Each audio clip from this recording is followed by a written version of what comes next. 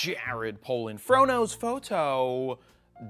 and I've been getting a lot of requests for comment on Tony Northrup's video where he says JPEG versus RAW, why I've been shooting JPEG more. Now, you all know that I shoot RAW. I wear it on my shirt, I wear it on my wristbands, I wear it even on the underwear that I wear that says I shoot RAW. And I'm not gonna show it to you right now, but it's true. I do have that. So Yes, I'm going to comment on quotes directly taken from Tony's video, as well as other statements that he made in those videos, and I'm gonna give you my opinion and take on everything. Now, I am a big proponent of pushing RAW out there, and there's lots of reasons for that, and we're gonna get to those as I go through the quotes that Tony has. So let's start with this one. RAW files are big and are slow to process. It took 24 hours to get everything imported into Lightroom. So my first question here is how many pictures did you take?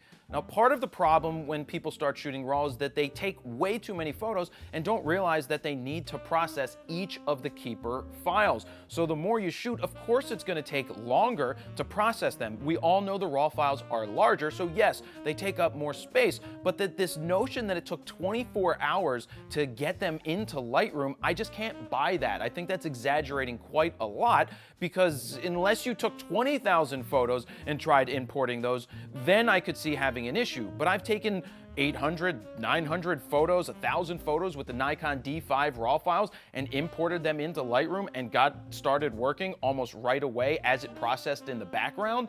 And, and with Lightroom, the new Lightrooms that have come out, they are much faster than the older Lightroom. So I don't buy this argument uh, one bit, other than RAW files are much larger takes up more hard drive space and your memory cards will run out faster. Come on, Tony, it's not 1996. And in fact, Ken Rockwell just sent me a two-way page and he wants his argument back. Now, we know that RAW files are larger. They take up more space, but also memory cards have gotten larger. Hard drives have gotten larger. And yes, storage is still one of those concerns that people have. But large hard drives for most companies are really inexpensive to have at home on your desk. I even have Backblaze, which is 50 bucks a year for unlimited storage of my raw files. And then I pay almost 500 bucks a year to Amazon Cloud Storage to have all of my raw files stored up in their cloud. Now you may be saying, well, that's a lot of money to spend, but you're looking at images going back 16 years. That's 16 years of raw files that I'm storing up in the cloud.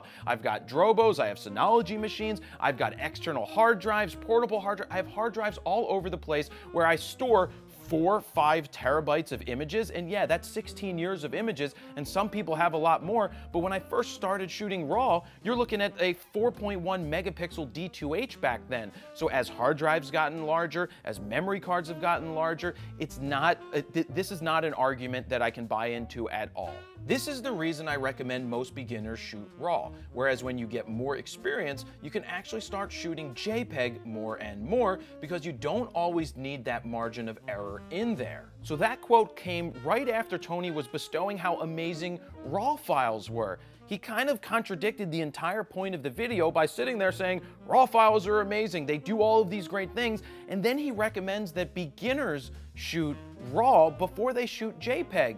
And honestly, most beginners are afraid of RAW because they don't know how to edit files, they don't know what to do with the RAW files, they don't know what programs to use. And so when I recommend people just starting out, I recommend that you shoot RAW plus JPEG. And I tell them store those RAW files for the future when you know what you're doing with them and when you understand that you can actually pull more data out of them. Now, Tony makes the whole point for shooting RAW. Yes, shoot RAW because there's more data, but I don't buy anymore that this, this whole thing, why people shoot RAW is because they can't get it right in camera. That is an old, stupid argument. Pros shoot RAW because of all the reasons that you just bestowed upon us by saying how amazing RAW files are, why there's so much data, and how you can do so much with that file then this is all coming from a guy who prides himself on making super technical arguments and reviews and side-by-side comparisons while pixel peeping on the raw file. If he really thought about this, then maybe he would just take all the JPEG files and pixel peep all day on those, but no, he's pixel peeping on the raw files because that's why you buy a camera is to shoot raw, to get all of that data. JPEG should be limited more to experts who feel like they can nail the perfect exposure. Now, I know this is similar to the question right before, but the reason I bring this up is that Tony's talking about experts that uh, they know they can nail the exposure every time, so that's why they shoot JPEG right after he just showed us three RAW files where he missed the exposure and brought it back in the RAW file to save the images, all while telling us how amazing RAW files are. It's not just about getting it right in camera. It's all of the extra details and I don't need to I don't need to go back into that. We'll get to that later on, but this video keeps contradicting itself, especially when Tony is flip-flopping saying raw files are great, but JPEGs are this, but raw files are great. So let's keep moving on. JPEG files are also great for casual photos where it's nothing serious, and if the picture doesn't turn out perfect, it's not a big deal. My response to this one is why do we spend all the money on these cameras and lenses in the first place? If every photo you are taking isn't that big of a deal, then why don't you just take out your cell phone and start taking photos with that? Because if it's not, like I don't set out to go out and, and not take interesting pictures. And yeah, there's snapshots that you take. I may just take those with my phone or I'll take them with my DSLR. But I don't sit there and go, well, this isn't going to be an important photo. I might as well just shoot it in JPEG. I just think that's the wrong mentality to have. If you're shooting serious action where you might need to shoot as many frames per second as possible continually, and you're shooting a thousand pictures, JPEG is perfect for that because it's going to let your camera go fast. This is another terrible argument. One, don't shoot so many photos. Don't overshoot and sit there and spray and pray. But two, almost every new camera today, even the most basic of basic cameras, can shoot 20, 30 RAW files in a row before you ever outrun the buffer. And on those basic beginner cameras, they're shooting three, four, five frames a second, which means you're shooting for three, four, five, six, eight seconds in a row to outrun the buffer. It's just not a, it's just not an excuse that I buy into and I just that's not a reason to shoot JPEG. And onto the sports thing, I know a lot of people sit there and say, "Well, I shoot sports and I need to transmit fast and I need to get stuff out there." I shoot sports in RAW. Everything I shoot, I shoot in RAW. There's nothing wrong with saying, you know what, shoot RAW so you have the RAW file, shoot JPEG small so you can transmit those quickly, or a lot of cameras can convert the RAW file quickly to a JPEG almost instantly, and then a lot of programs like Photo Mechanic can give you and spit out a JPEG to transmit right away if you need that as well. But I know Sports Illustrated shooters, sorry, I know Sports Illustrated shooters who shoot the Super Bowl, who shoot the World Series, who shoot in RAW but they also shoot JPEG if they need to so they can transmit it, but they always have the RAW file to go back. And I will not buy the argument that you will outrun the buffer and that's a reason to shoot JPEG. That's a reason to stop spraying and praying and get better at capturing the moment. You should only be taking bursts of one second, or I could never see sitting there holding the, the shutter down for a burst of action that lasts more than a second and a half or two seconds or just a second. It just, there's not a lot of action out there that just happens and continues to happen for 10 seconds in a row. At that point, you might as well just shoot video. RAW files are generally better for beginners because if they make a major mistake with the exposure, they're better able to recover it. See, the problem with this statement is that beginners have no clue what they're doing with RAW files. What they do is they get it into the computer and they go, I can't open this, what am I supposed to do? And they get discouraged. That's why I try to educate people when they just start out and say, look, I don't have a problem if you just shoot JPEG straight up while you're learning.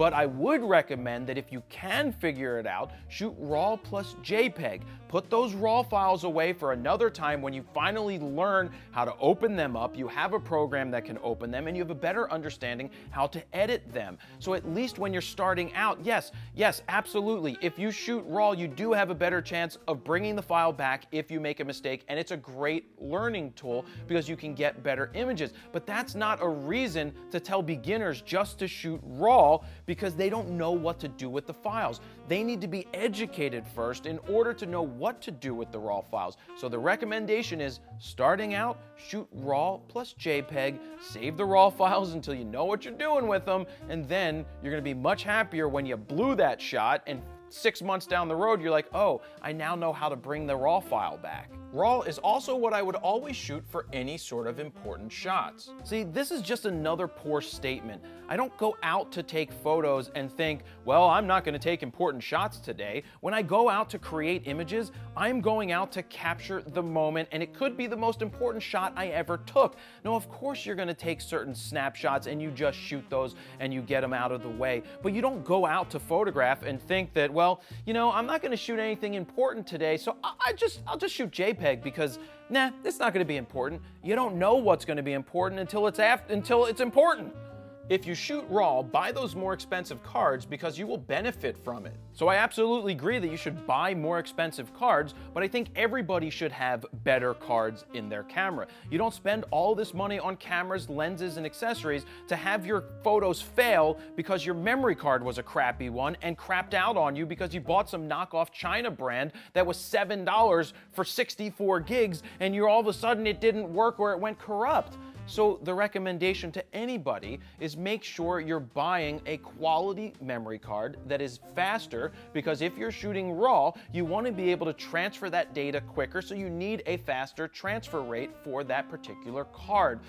So this one isn't a direct quote, but this is the gist of what he was saying.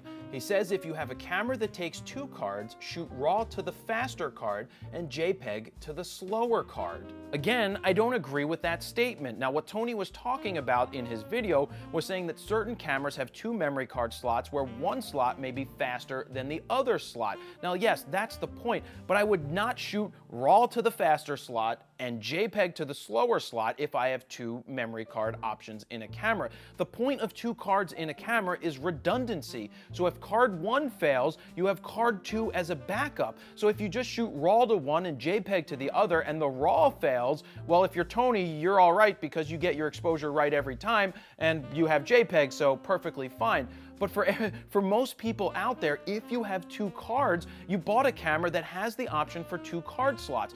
Put two memory cards in there, shoot RAW and JPEG to both. If you want to just shoot, if, if, if you're looking to shoot JPEG, put it on the same card. RAW plus JPEG. Then you have both on both cards just in case anything goes wrong. The name of the game is redundancy.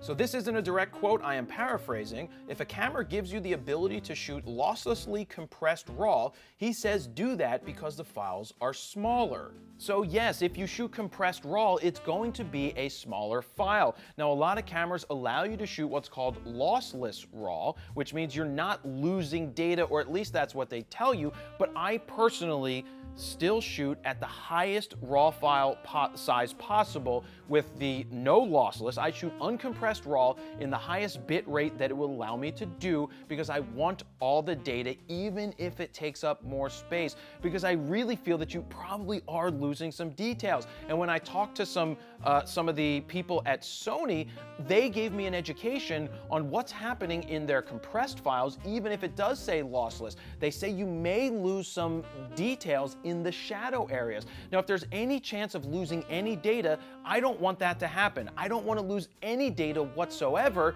That's why I always shoot uncompressed RAW at the highest bit rate possible. I spend all this money on the camera, I want to make sure I get the best file possible. So that's pretty much it. Those are my thoughts on Tony's video about RAW versus JPEG and why he's shooting more JPEGs and going in each step of the way and commenting on the quotes that I didn't agree with. Now, there are things that I agreed with in the video, especially when he said raw files are so amazing. That's what was so weird about the video is he talks about how amazing raw files are while saying, well, if it's an important shot or if it's to have if the shot may have more dynamic range, then I'm to shoot that raw. It's just shoot shoot raw. My recommendation and my suggestion, because there are no definitives in this world, is I suggest that you shoot RAW. And if you're not comfortable with shooting RAW, then shoot RAW plus JPEG and save those raw files till you're more comfortable with them. And what's gonna happen is you're gonna continue to shoot those raw files into the future when you realize how much data there is and how much better the files are going to look. And remember, when you're going out to shoot photos, it may be the most important picture that you ever take, so that is not an excuse to shoot JPEG because you're shooting unimportant images. If you're shooting unimportant images, then why shoot them at all? So that, that's my take. What do you guys think? Leave some comments down below. I thank you guys very much for watching this. I hope you found it to be informative and you learned something and you got something out of it. If you want to check out one of my latest videos, go ahead and click up on the screen right now. Don't forget to subscribe on YouTube, share this on Facebook, like, comment, do all of that stuff. I appreciate you guys watching. Jared PolandFroKnowsPhoto.com. See ya.